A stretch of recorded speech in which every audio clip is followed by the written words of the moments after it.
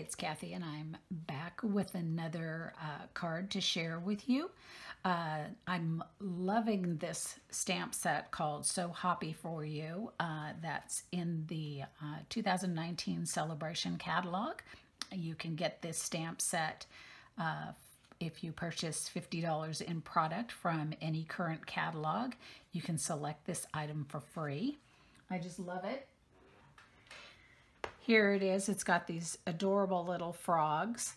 Um, and then we're also using here for the sentiment, the incredible Like You stamp set. And I just, I just love these uh, fonts that they've used on this. I think they're just really pop.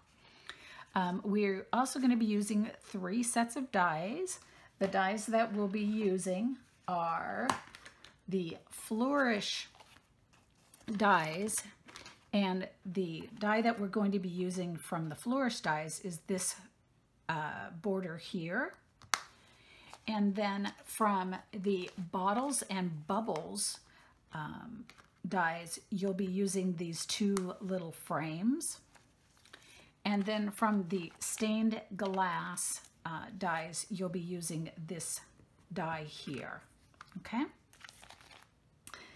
Um, so let me show you the trick of this card. This little uh, piece here pulls out, and this one's been kind of abused. He's been through a class, so um, he's a little out of adjustment.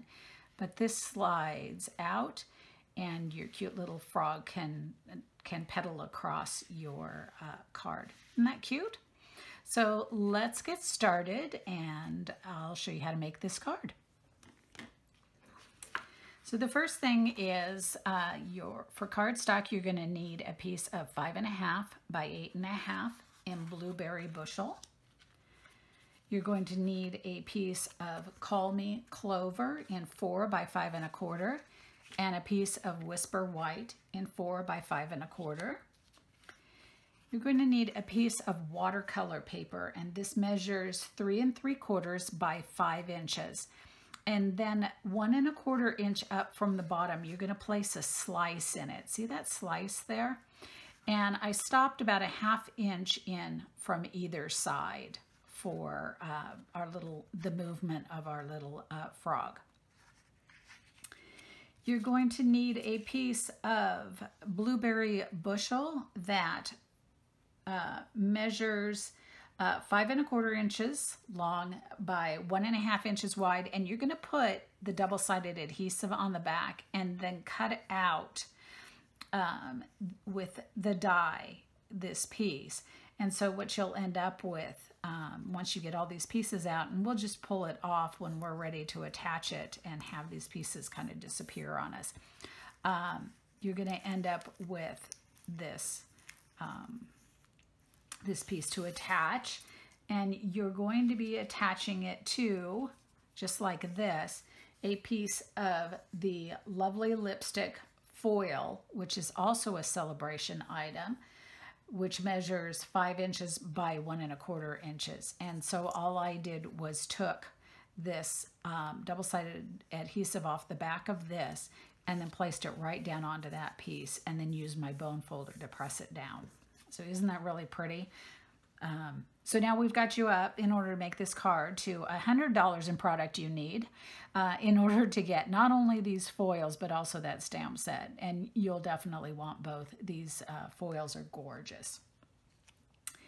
You're going to want a piece of Call Me Clover that uh, measures five and a quarter inches by five eighths of an inch. A piece of Blueberry Bushel that measures um, let's see, he measures four and a quarter inches by three quarters inches. I have my notes over here, but they've gotten out of order. Um, this is the Grapefruit Grove foil. I'm not sure if you can see that in the camera, but it, it's holographic and it's just, just beautiful. I love this one. I, I didn't think in the catalog much about it and um, it certainly does not do it justice. Once you see it, it's, it's really pretty. And this piece was originally five inches by five eighths. And the uh, die is the one from the Flourish um, die set, and that little border. So we're going to cut that out. You're going to need a piece of the eighth inch gross grain ribbon, and this is six inches. It's maybe a little bit hard to see, but this is a little window sheet. Let's see if I, maybe with the dark, you'll see it better. It's a little piece of window sheet. It measures three and a quarter inches by a quarter inch. You're to need a couple of scrap pieces of um, Whisper White and Blueberry Bushel that you can cut these two little dies out of. Um, I recommend that you stamp the Hoppy for You, and this is in Blueberry Bushel ink, uh, before you um, cut them out. And I've already done this because otherwise this video would be so long because the assembly of this is going to take us long enough um, a couple of rhinestones, and these have been colored with the dark uh, Call Me Clover um, blends markers. And then finally, I cut this um, little guy, stamped him and cut him out using my ScanNCut. Um, you can fussy cut him. Another uh, little trick, I have um, another card that I'm doing for a workshop next weekend that um, I wanted this frog, but without the bicycle or tricycle, unicycle, the unicycle. Um, and there's enough of a gap between there that I ended up cutting this apart. And so now it is in two pieces, but I kept those pieces easy enough that I can tell exactly where it places together and I can make it be one stamp again, or I can just stamp him without worrying about the unicycle. I don't do this with all of my stamps, but my celebration ones I, I do because they're free. So I don't feel so bad about cutting them in. But that's a tip for you is you can do that. Okay, so our little frog, we need to color him and I've colored him in the light and dark Call Me Clover and the unicycle I colored in the light and dark um, Smoky Slate. And then on the inside of the card, the stamping is, and I've gone ahead and done the stamping here, this little frog in Memento and the little bees in Memento. Um, and then incredibly proud of you from that incredible like you stamp set is in the blueberry bushel. And so we're going to color these as well. Um, and the only other color I don't have out here uh, for the little bees is the dark Daffodil Delight. And so we'll use that uh, to color. Um, so on these two frogs, I just used the light one for their bellies. And this little guy's spots. Okay. Then for the little bees, they are in yellow.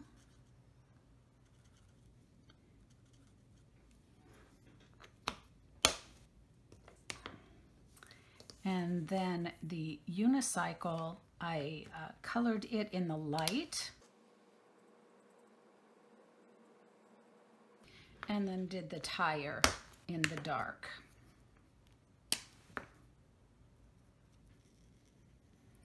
There is not a big difference between these two, so if you don't want to uh, do two different colors, there really is not a lot. And maybe I'll do his seat in the dark and then this portion of the chain in the dark. Maybe get a little bit of variation. And then finally we need to do these little frogs and I found that the the fine point end works really well for their legs.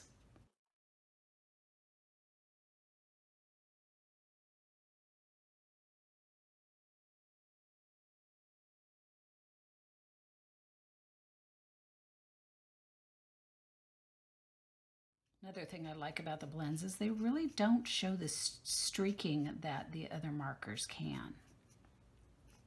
they blend really well. So then we'll go over and color this little guy here.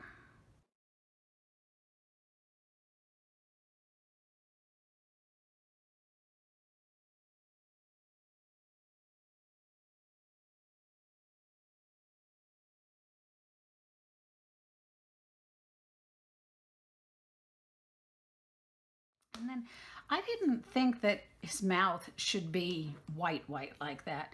So what I ended up doing was I actually colored it with the lighter of the greens. Let me see if I can get rid of some of that darker green this way. Because I figured his mouth's probably close to his same color. And then I came back with, oh, let's see, a little bit of the ivory and colored in as well. And it kind of gave it a brown tinge to it. And so I think that looks a little bit more like what a the inside of a frog's mouth would be. So, um, then the final thing I did on these is I got out my fine tip glue pen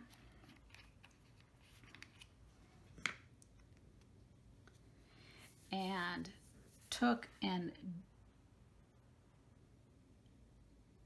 did the bees kind of put glue on them. It's kind of like the old uh, diamond glaze or crystal effects and did their eyes in it. And made them kind of a little bit buggy. And this little guy too. And then set them aside to dry. It'll take a little bit of time, so we'll assemble other parts of the card while we're waiting on him to dry. Now, again, make sure that you get this uh, pin in the right spot to uh, your fine tip glue pen. And then set these guys off to the side. Okay. So on your watercolor piece, let me grab my box if you're ever wondering, what do I do with my paper, old paper pumpkin boxes? Well, this is one of the things that I do with mine. It's a great spot for working with your Brusho. So I'm going to take my, uh, my watercolor piece and it's going to go in my box and we're going to get my Brushos out. So there's two ways to go about this and one is to put powder down and then spritz. The other is to spritz and then put powder down. Um, depending upon the look you want, they will be different. This is spritz first and then powder. So it's you can see it's a much more watercolory look because there's more water that went down. This is powder first, then spritzing. And I kind of like this look better. So that's what we're going to do. So I'm going to put my powder down. And I only really need to do it above where uh, that cut line is. So I'm not really worrying about below that. And then I'm going to start to spritz.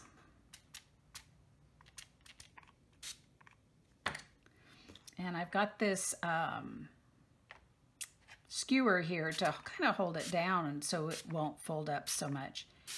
And I just keep spritzing it until I like the look of it. And I think if I give it too much more than that, it's going to start to run and pool a lot more. And I kind of like that. I think that's going to end up really pretty.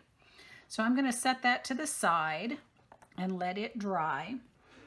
And in the interim, we'll use one of these other ones to assemble the card, and then I'll show you what that one ends up looking like. So we'll go ahead and use this one.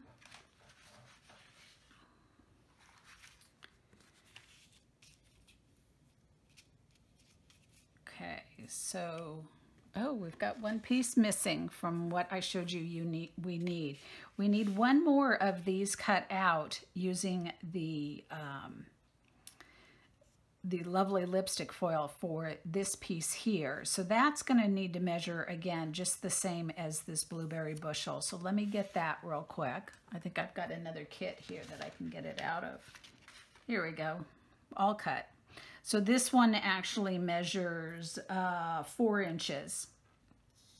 And, and this um, should have, yep, adhesive already on the back. And I'll place that down here and use my bone folder.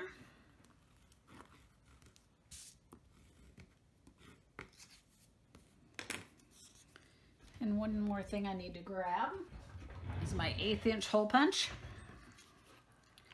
We're just gonna punch a little hole in the end of that there, just like that. Take my ribbon and feed it through.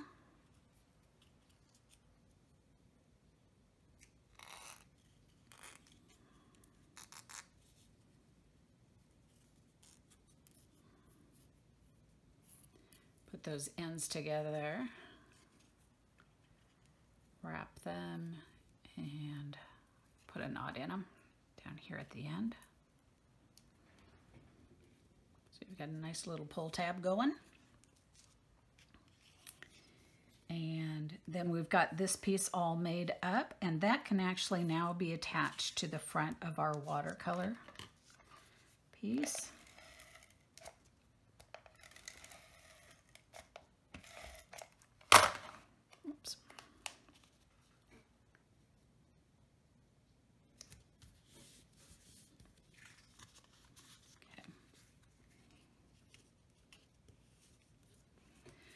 Then we're going to take our window sheet little strip and um, some double-sided tape.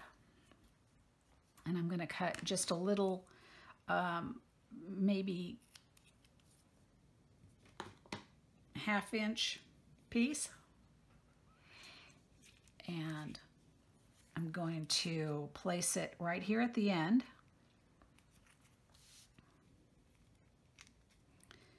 Just like that and pull that off and I'm going to place this here like that. Now you want to make sure that none of that adhesive sticks out the ends. So if it does, you want to make sure that that you get rid of that either with your adhesive remover or whatever because you don't want it to stick and grab. So just kind of make sure that that's gone from there. And this is going to slide up inside that slot, just like that. Okay, so now it's out here at the top. We can then take our little frog, and let's see, I doubt his eyes are dry yet, so I'm going to hold him up here and I'm going to put some adhesive on this strip here again. And I think that this is a little bit wider than my strip is. So I'm going to actually trim it a little bit um, and make so that we make sure we don't have any sticking off the edge. So I'm going to trim a little bit off of it. And I'm going to place it on here and I'm not going all the way to the top just in case my frog is not going that far up. And I want to make sure that that's good and attached. So I'm going to press on it several times. And up. Now my frog can come and I can decide on where I want him. And I want him about right there. And his body and down this bar will, or the, the unicycle will hide that strip. And then this little bit that's sticking up here, I'll go ahead and trim off so you don't see it at all. So now I've got a little pole with my frog attached, right? So this piece can now be attached to the card itself. So I'm going to go ahead and put down my Call Me Clover piece to my card itself.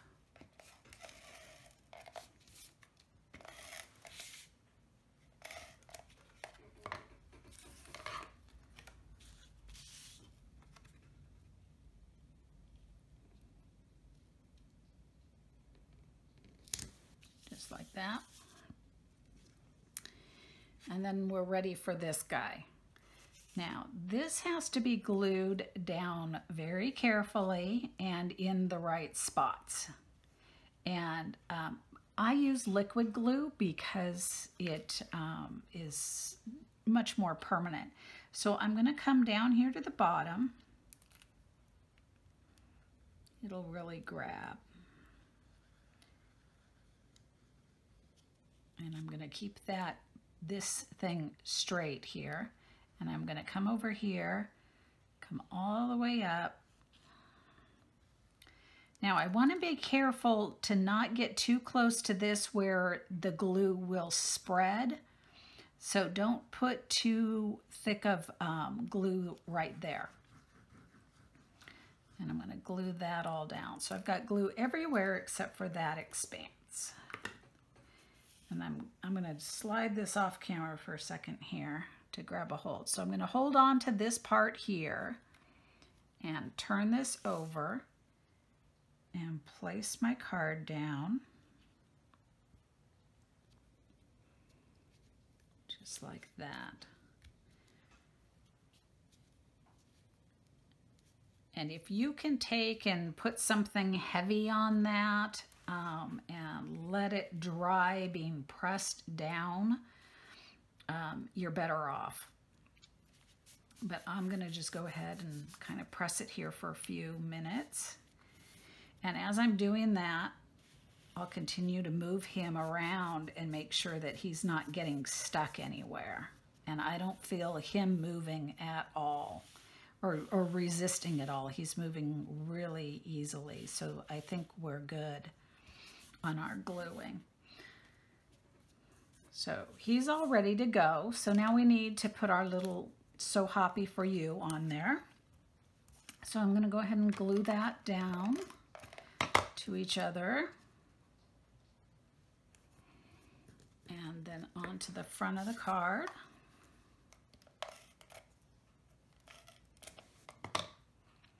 And place that right over here.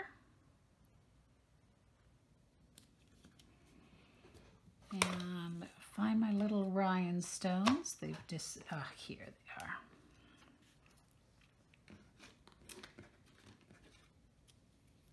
Let me just use my scissors and grab those. Oop.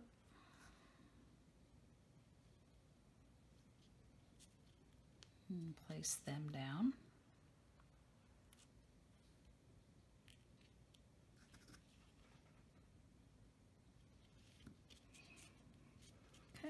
So there's the front of our card.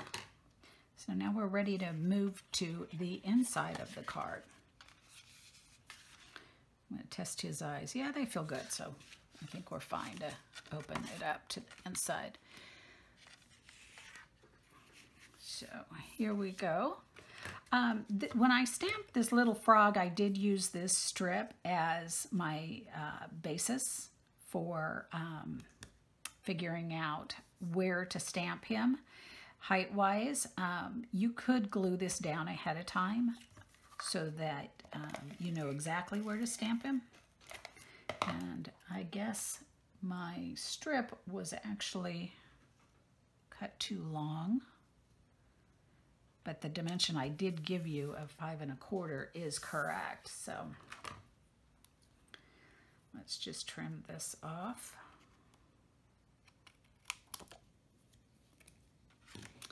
And then the final thing is to put this Grapefruit Grove uh, piece on there. And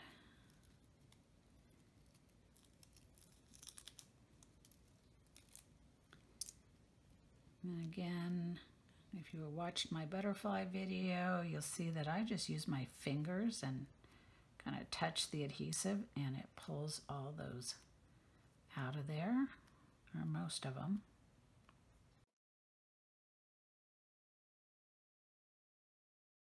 And then I'll place that down here.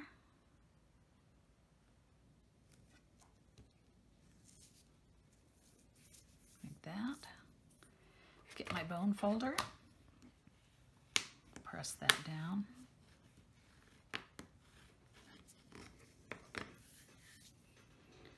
And glue this down to the inside of the card.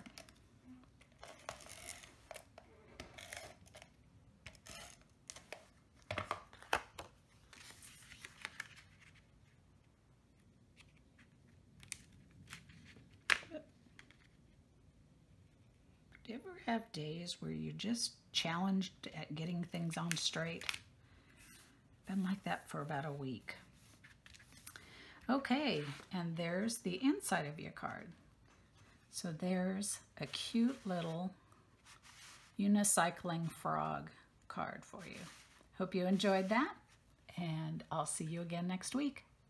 Bye-bye. I just remembered that uh, I was going to show you that one that we did on camera and how it turned out. And that's how it turned out. Isn't that pretty? So um, I hope uh, you enjoyed making that little frog card with me.